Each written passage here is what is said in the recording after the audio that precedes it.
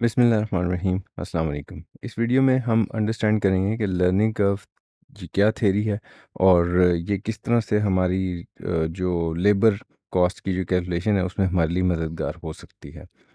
Learning curve theory, basically learning curve एक idea है कि आप जितना भी टाइम लेते हैं, टाइम लेते हैं टू मेक वन यूनिट ये टाइम रफ्ता रफ्ता रिड्यूस करता है जैसे जैसे आपके एक्सपीरियंस में इजाफा होता जाता है।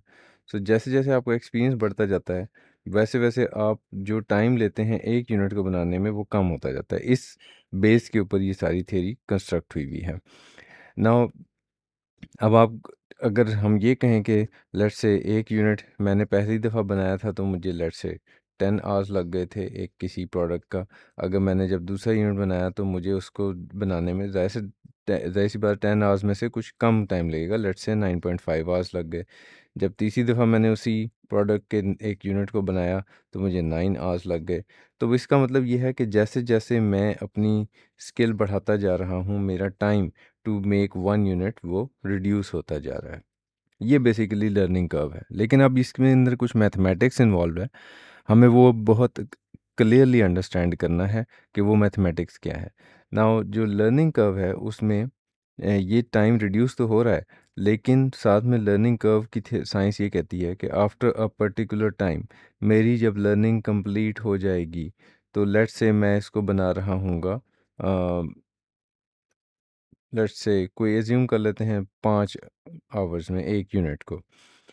और इसके बाद मैं जितने भी यूनिट बनाऊँगा sixteen unit seventeen unit eighteen unit, उन सब के लिए मैं हर यूनिट के लिए फाइव आवर्स ही कंज्यूम कर रहा हूँ यानी ये लर्निंग कर्व मेरा लेबर का जो टाइम लग रहा है, मेरा जो वक्त सर्फ हो रहा है एक यूनिट को बनाने में, वो रिड्यूस तो हो रहा है, लेकिन एक ख़ास प्रोसेस, एक ख़ास वक्त के बाद मेरी जो लर्निंग का प्रोसेस है वो स्टॉप हो जाएगा। और मैं अपने मिनिमम उस टाइम पे पहुँच जाऊँगा, फिर वो मज़ीद कम नहीं होगा। एक ख़ास लेवल के बाद मेरा per unit time to produce the product वो कम नहीं होगा। ठीक है? सो, पहली चीज़ ये कि टाइम विल रिड्यूस और सेकंड चीज़ ये कि after a certain level it will not reduce ठीक है? उस लेवल एक ख़ास हद तक ही मैं अपने टाइम को, ये तो नहीं इस तरह अगर मैं ऐसी, इसको मैथमेटिकली लेके चलूँ तो हो सकता है कुछ देर बाद मैं इतना स्किल्ड पर्सन हो जाऊँ कि बगैर एक सेकंड लगाए भी यूनिट प्रोड्यूस कर रहा हूँ तो ये तो एक नामुमकिन सी बात है ना? टाइम मुझे कुछ तो लगना है, मैं एक स्किल्ड आदमी तो हो जाऊँगा, लेकिन लेट से मैं उसको फाइव आवर्स में कर रहा हूँ एक यूनिट को बना रहा हूँ ठीक है so learning curve theory basically ये है, लेकिन अब ये जो रिड्यूस होना है, इसके लिए कुछ लवाजमात हैं, कुछ कंडीशंस हैं जो पूरी होंगी और कुछ इसकी रिक्वायरमेंट्स हैं। वो रिक्वायरमेंट्स हम अंडरस्टैंड करते हैं और जब हम उसको न्यूमेरिकली देखेंगे तो हमें मज़ीद वो क्रिस्टल क्लियर हो जाएगा। So first thing is it's a phenomena that cumulative average time cumulative average time का मतलब ये है कि अगर मैंने पहली दफ़ा दस यूनिट्स बनाए तो उसके लिए जो टोटल टाइम लगा उसको डिवाइड बाय टेन करें। तो ये होगा, यानी टोटल टाइम लगा let's say one hundred hours मैंने दस यूनिट बनाने में सौ घंटे लगाए। तो cumulative average time cumulative average time का मतलब ये कि मैंने कितना टाइम कंज्यूम किया एक यूनिट को बनाने में, यानी कि hours per unit find out करो। तो आवर्स पर यूनिट कितने बनते हैं? One hundred divide by ten तो इसका मतलब टेन आवर्स एक यूनिट को बनाने में मैंने लगाए। सो so, जो क्यूमुलेटिव एवरेज टाइम है required per unit will decrease by a constant percentage जब मैं अगले दस अग, अगली बारी अटैम्प्ट करूँगा और यूनिट्स बनाऊँगा और इस इस अब इसकी एक जो बेसिक यानी कि समझ लें कि है वो क्या है? कि it will decrease by constant percentage every time total output of the product doubles अब अगली बारी इसका मतलब output of the product doubles यानी कि लर्निंग कर्व की थ्योरी कहती है कि जब मैंने पहली दफ़ा दस यूनिट बनाए तो अब मैं बीस यूनिट जब बनाऊँगा तो अब मुझे जो टाइम लगेगा टोटल उस टोटल टाइम से जब मैं पर यूनिट टाइम कैलकुलेट करूँगा तो वो एक ख़ास परसेंटेज से रिड्यूस हो चुका होगा। लेट से अगर मैं कहूँ एटी परसेंट से तो इसका मतलब मेरे पास टेन का जो एटी परसेंट बनाया तो कितना है? Eight hours per unit eight hours per unit लगे होंगे। जब मैं अगले बीस, यानी जब मैं प्रोडक्टिविटी को डबल करूँगा तो ये एटी परसेंट ये कांस्टेंट परसेंटेज होगी जिससे वो रिड्यूस हो रहा होगा। ना, ये जो कांस्टेंट परसेंटेज है, ये हर आदमी की डिफरेंट हो सकती है, कोई बहुत अच्छा लर्निंग करने वाला है तो हो सकता है कि वो सेवेंटी परसेंट पे चला जाए, हो सकता है और सिक्सटी परसेंट पे चला जाए, यानी अपने टाइम को वो रिड्यूस कर ले, ठीक है? लेकिन ये जो इसकी रिडक्शन है, after every double of the productivity, next double of productivity क्या होगा? Forty units. तो एवरी डबल ऑफ़ प्रोडक्टिविटी ये परसेंटेज कांस्टेंट रहेगी, लर्निंग कर्व थ्योरी की साइंस ये है। यानी अस्सी परसेंट से ही अगला टाइम भी रिड्यूस होगा, यानी कि अगर मैं एट आवर्स पहली दफ़ा ले रहा था टेन आवर्स पर यूनिट तो अगली दफ़ा मैं लूँगा eight hours per unit. Eight hours मैंने एक यूनिट को बनाने में लगाए, टोटल यूनिट मैंने बनाए बीस तो इसका मतलब मैंने कितना टाइम लिया? One hundred and sixty hours, ठीक है? अब जब मैंने चालीस यूनिट बनाए तो अगेन एटी परसेंट का ही लर्निंग का अप्लाई होगा। इसका मतलब ये कि एट आवर्स पर यूनिट की बजाय अब मैं कितने लूँगा? एट का एटी परसेंट, ठीक है? सो अगर आप एट को मल्टीप्लाई करें, एटी परसेंट के साथ तो आपके पास जो टाइम बनता है, वो सिक्स पॉइंट फोर आवर्स बनता है, आवर्स पर यूनिट, ठीक है? Six point four hours per unit. तब आपको six point four hours per unit लगे और आपने यूनिट्स कितने बनाए? फोर्टी। तो इसको अगर आप मल्टीप्लाई कर दोगे फोर्टी के साथ तो what you will get is two hundred and fifty six hours आपको लगे। सो so, आपकी जूँ जूँ प्रोडक्टिविटी डबल होती जा रही है आप लर्न कर रहे हो लेकिन वो जो लर्न करने से आपका जो पर यूनिट टाइम में रिडक्शन है वो कांस्टेंट एटी परसेंट से ही हो रहा है। ठीक है ना प्रैक्टिकली ये डिफरेंट हो सकता है, लेकिन लर्निंग कर्व की थेरी ये कहती है कि वो एक कांस्टेंट रेट से ही आपका पर यूनिट एवरेज जो ये हमने यहाँ पे बात की थी ना cumulative average time required per unit ये कांस्टेंट परसेंटेज के साथ ही रिड्यूस होगा। जब भी आप अपनी प्रोडक्शन को आउटपुट को क्या कर लेंगे? डबल कर लेंगे, ठीक है?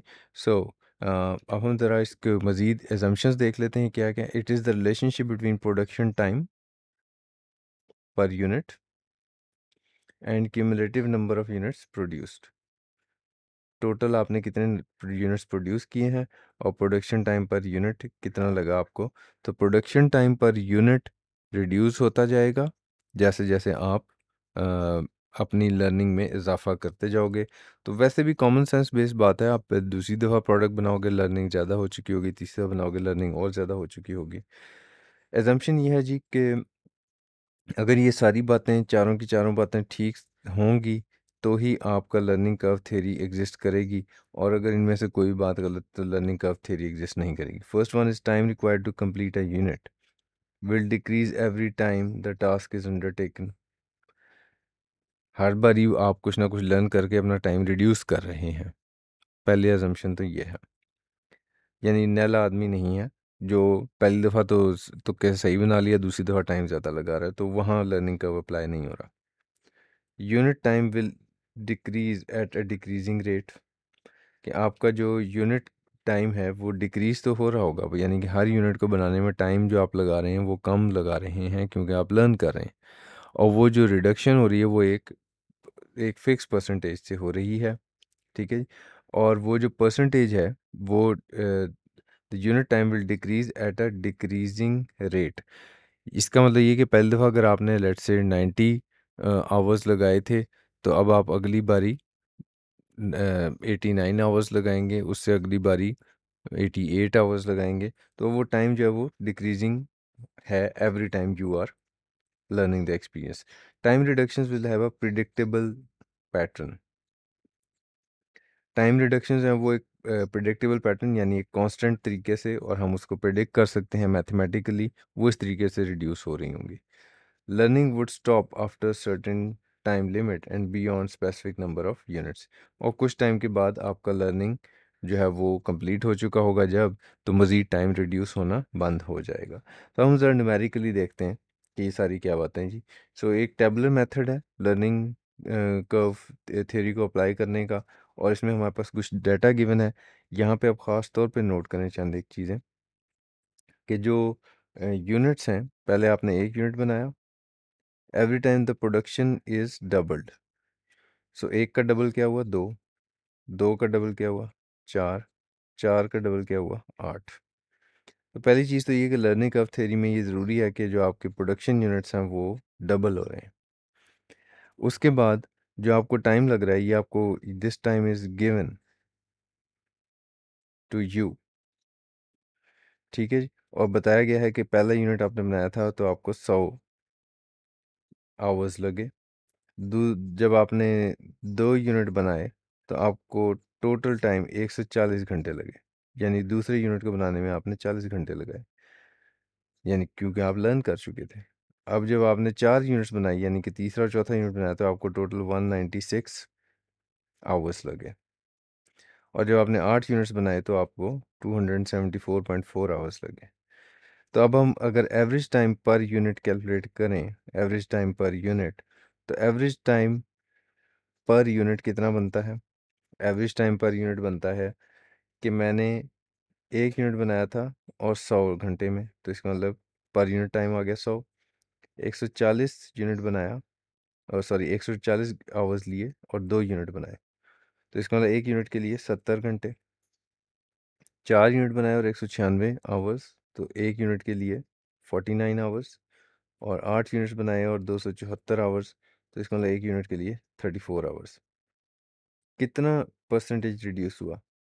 यानी अगर मैं हंड्रेड को किससे मल्टीप्लाई करूँ? सेवेंटी आ जाए तो सेवेंटी परसेंट। सेवेंटी को किससे मल्टीप्लाई करूँ? तो फोर्टी नाइन आ जाए, सेवेंटी परसेंट। फोर्टी नाइन को किससे मल्टीप्लाई करूँ? कि थर्टी फोर आ जाए, सेवेंटी परसेंट। तो इसका मतलब ये है कि एक फिक्स परसेंट एज से per unit average time reduce हो रहा है, ये लर्निंग कर्व कहता है। सो आपको ये इस किस्म का डाटा टोटल टाइम तब गिवन होगा जब आपसे वो परसेंटेज मालूम करने को कहा जाएगा।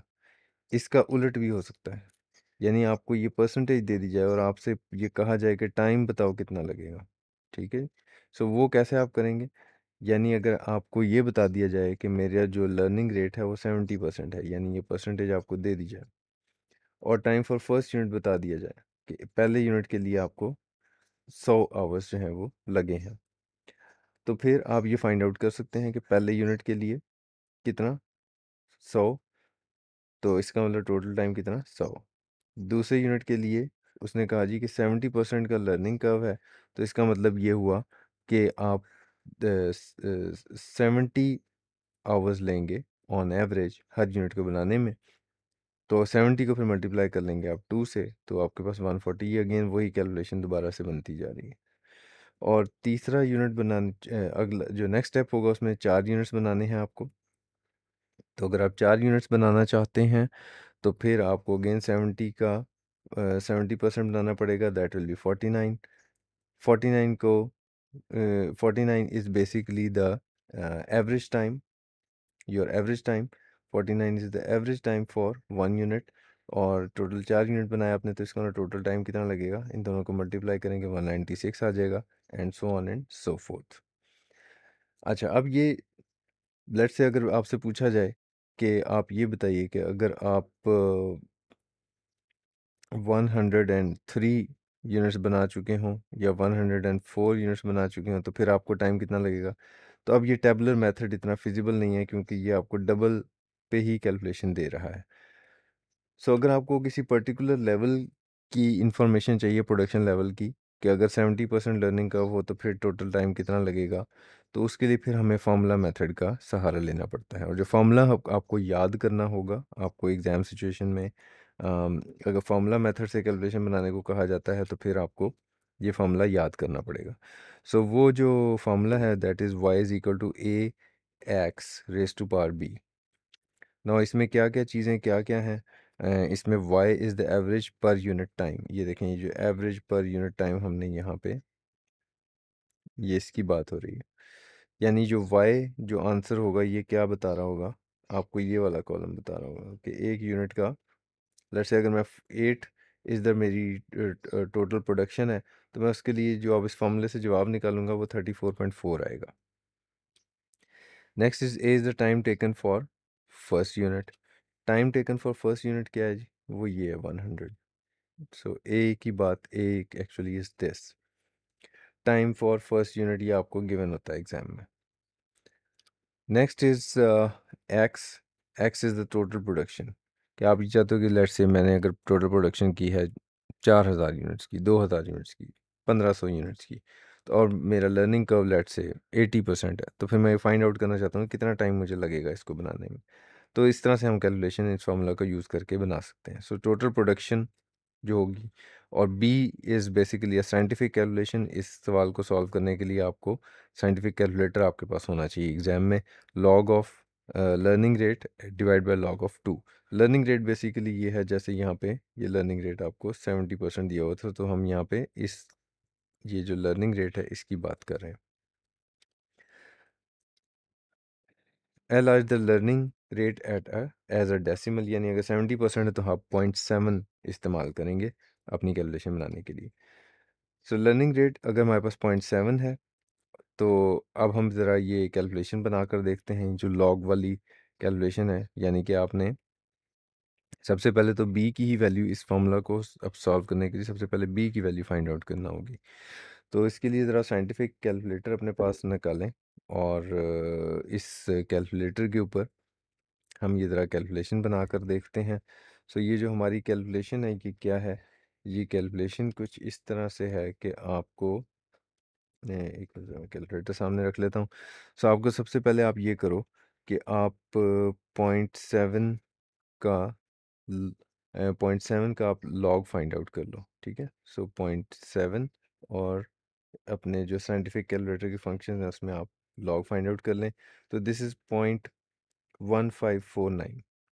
So ये आपने जब भी पहले कभी लॉगरिथम्स पढ़े होंगे तो आपको ये पता होगा कि डेसिमल के बाद एटलीस्ट फोर डिजिट्स तक आपको इसको करना चाहिए ताकि आपके आंसर्स करेक्ट आएँ। So point one five four nine minus में आंसर आया, ठीक है? और टू का लॉग भी इसी तरह अगर हम फाइंड आउट कर लें कि मैं टू का लॉग फाइंड आउट कर लेता हूँ तो point three zero one zero ठीक है?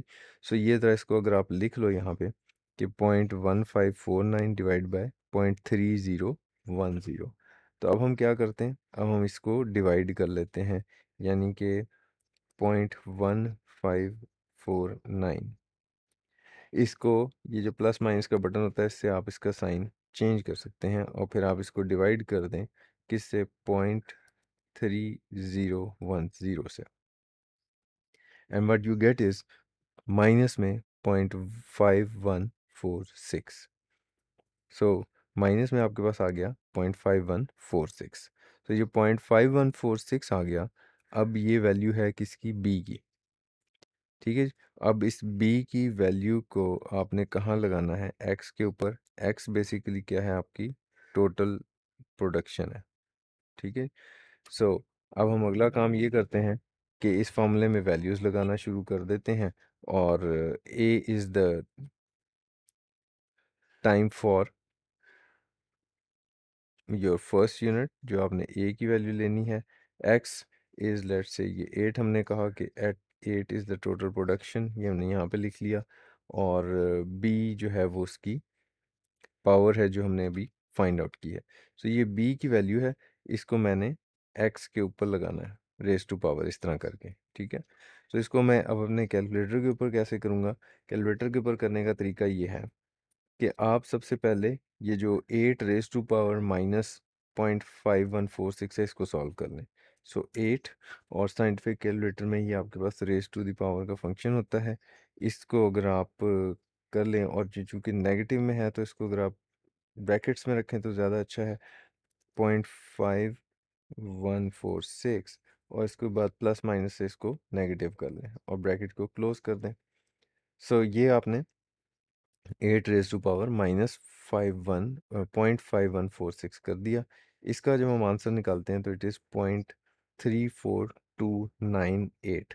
तो अगर मैं चार डेसिमल्स तक इसको करूँ तो this is point three four three हो जाएगा, राउंड ऑफ़ करना तो पॉइंट थ्री फोर थ्री। तो एक्चुअली जो ये है, इसको सॉल्व करने से मेरे पास क्या आ गया, point three four three. So point three four three को फिर आप क्या कर दें मल्टीप्लाई कर दें 100 के साथ तो you will get your answer and that is 34.3 so 34.3 is what? Y is average per unit time ये एक यूनिट का टाइम है तो three thirty four point three is average per unit time और आपकी टोटल प्रोडक्शन अगर आठ units की है तो अब आप ये फाइंड आउट कर सकते हो कि मेरा टाइम कितना लगेगा। तो thirty four point three is the average time और अगर आप इसको मल्टीप्लाई कर दें एट के साथ तो जैसे हमने यहाँ पे किया हुआ है तो two seventy four point four हमारे पास आंसर आ जाएगा। ओके, सो ये था लर्निंग कर्व। इस पे अगर अब आपका कोई सवाल होगा तो हम उसको आंसर करेंगे। Thank you very much, take care.